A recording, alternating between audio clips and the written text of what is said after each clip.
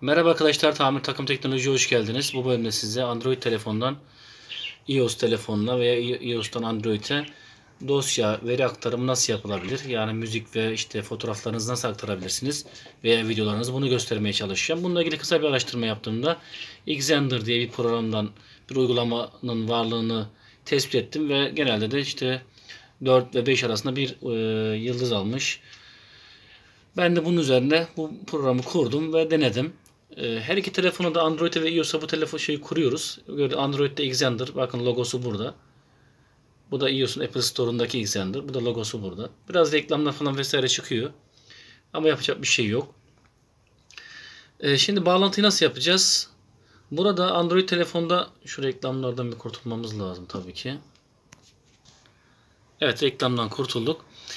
Buradayken şimdi telefonumuzu bağlayacağız. Her iki telefonumuzda Wi-Fi bağlantısı var. Ya bu orta logoya basacaksınız. Buradan send diyeceksiniz. Veya ben butonuna gelip Android'i bağlayını seçeceksiniz. Buradan sizden QR kod isteyecek. Bu QR kodu verebilmeniz için Android'den bir QR kod oluşturmanız gerekiyor. İşte Android'deyken bakın indir dediğinde burada send diyor. Bu send'i tıkladığınız zaman size bir tane buradan QR kod çıkaracak. Bunu alıyorum iPhone'a bağlan diye bakın yazdı yukarıda.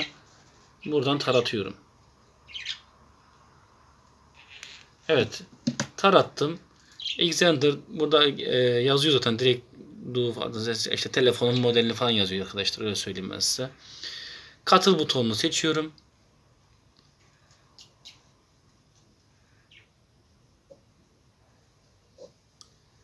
Bağlantı kurulmaya çalışılıyor şu an. Bağlantı başarılı. Evet resim, müzik, video diyor. Bakın burada resimler var. Buradan herhangi birini göndermek isteyelim mesela. Şuradan. Mesela şu resmi seçelim. Gönder diyorum.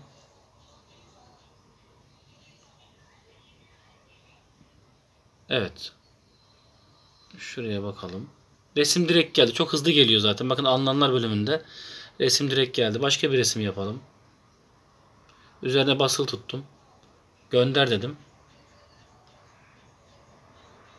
Gördüğünüz gibi bakın 1.31 MB ama çok seri bir şekilde Android telefona aktarım yapmış oldu.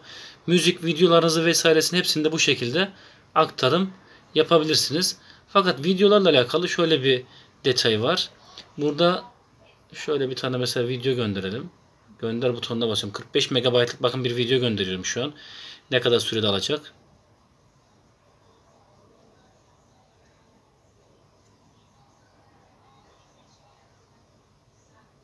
Bunu da tecrübe etmiş olalım.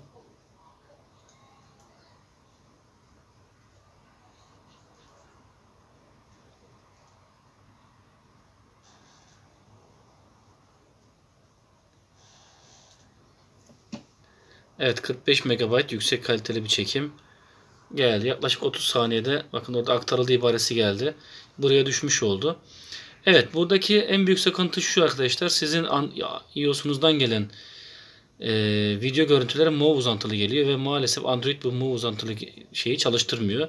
Bunun için de Play Store'dan bir çevirici program indirmeniz gerekiyor. Tek problem bu. Yoksa aktarımız aslında çok kötü değil.